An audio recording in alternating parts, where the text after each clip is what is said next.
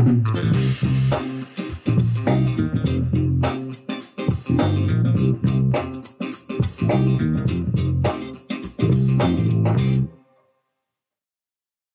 this edition of Careers That Matter, I'm joined by Krystle Wittevrongel, who is a, the Director of Research at the Montreal Economic Institute.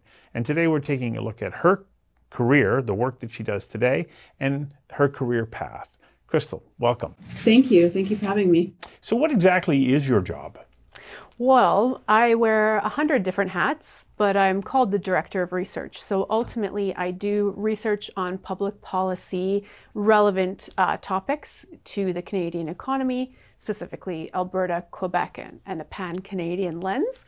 Um, and then on the back end of it, I, I, help drive the research processes of the organization. So keeping us on track with our various commitments uh, to donors, but also just keeping us on in line uh, with what we are set to do for the year. So, what does a typical day look like for you? Like to go about doing that, what are the kinds of activities that you have to undertake to be able to deliver that kind of research? So, the think tank world is a very interesting one in that usually uh, the organization is very small, which mine is as well. Um, so, you're often doing multiple different tasks within the same time period which requires you to be quite nimble um, and able to switch gears rather quickly. So um, that goes into the, the news cycle as well. So, you know, if I'm doing research on a long-term project like primary care in Canada, for example, and then, you know, the government of Alberta makes an announcement that there's this grand sweeping change, I'm shifting gears, I'm jumping on that, capitalizing on that with whatever recommendations we may or may not have, if it's applicable, of course. Um, so a typical day is project management, research, comms, uh, media monitoring. It's kind of everything all at once and keeps it very exciting. Uh, by research or when you're reading or, or uh, you know researching, are you mostly reading uh, material, or are you also connecting with experts in uh, particular disciplines to help round out your knowledge base? All of the above. Oh. So we do a lot of background, uh, which is reading and, and keeping abreast of what's going on, both in the academic literature, but then also in the gray literature or, or the policy relevant context. But when it comes to things like uh, healthcare or, or energy, which are my two areas of, of specialization, I often touch base with stakeholders or other experts in the field to just you know make sure that what we are are thinking or the directions we're taking align with greater trends and not just our own organizational lens. So, how many hours a day do you work? my boss would, would say I work eight hours a day, but some days uh, they're different. Uh, some days it's longer, some days it's shorter. Um, you know, we try to keep it to a full time gig, but um, you know, very policy aligned and within the context of you know emerging news and trends, it can you know it can go longer for sure. Well, can you actually ever turn it off? Like based on the work that you're doing, can you ever actually turn it off? No, which is a blessing and a curse at the same time. Um, I work a lot from home, which allows me to kind of, you know, respond to something very quickly.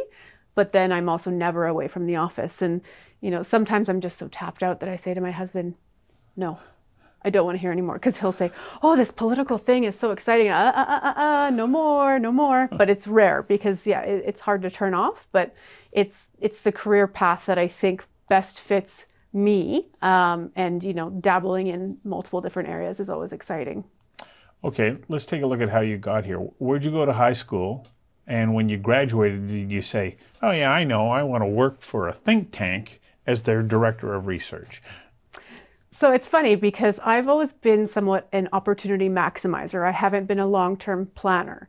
Uh, so after high school, I went to University of Calgary, where that's where I've done all my degrees. So I did uh, a Bachelor of Science and an International Development undergrad degree, um, two of them at the same time. And then I graduated and I started working in the nonprofit sector, uh, doing settlement service support for immigrant and refugee youth. Hmm. That's where I found that I would say, hey, government, who was our, our primary funder, this is what these youth need. And I'm telling you from very clear experience. And they'd say, mm, that's great, but here's actually what they need. And there was this disconnect that was very evident and very frustrating. And that's what drove me to go back to get my Master of Public Policy because I thought there's no way that this can be the way that broader government works. Unfortunately, it seems to be the case in a lot of, of circumstances. Uh, and then from there, I kept working, but then I did another master's degree, uh, a master's of science using health policy data, uh, and looked at some healthcare utilization for kids with concussions. So the policy ramifications of that. So um, it's been a, a, twisty sort of road.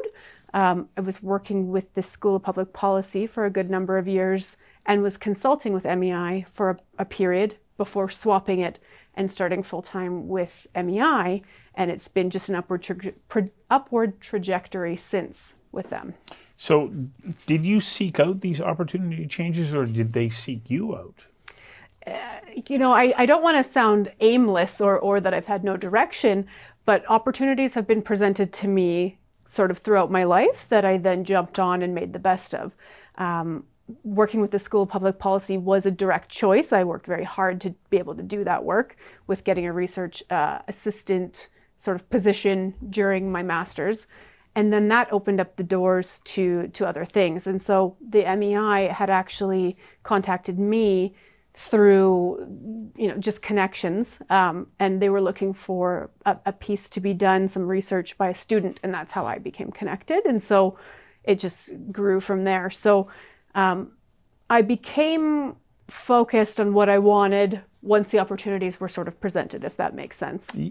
Okay. Uh, you must have done quality work because opportunities don't present themselves to people who aren't doing quality work. How important is having a strong work ethic that's focused on, you know, uh, high performance or high quality outcomes? How important is that in your career and do you believe in other people's careers?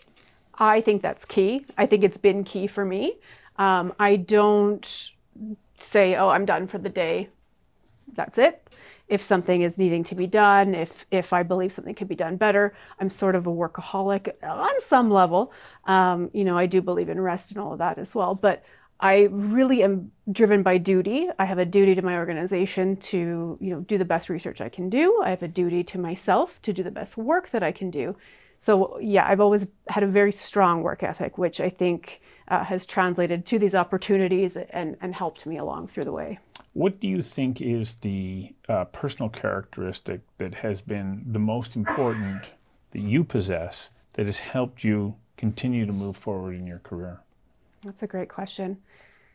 I think uh, it's kind of twofold. I think being humble about my own work. Um, I I know when something can be better. So when it's brought to my attention, I go, yes, I know that could have been better. Um, or, you know, I, I take criticism well, I, especially if it's, you know, constructive criticism. Um, and that's the second part of it is, is seeking and accepting the feedback, even when it's not pleasant.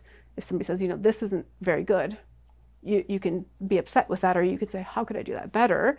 And that has really driven me forward, both academically and then professionally, um, as I've moved on throughout my life. Well, it's been a great career, huh? Yeah, it has. It's, it's very exciting. I'm very excited to see, you know, where it goes uh, in the future. Yes, you still have an upward trajectory ahead of you. Thank you very much for coming in and giving us a glimpse into your working life and your career path. Thank you for having me.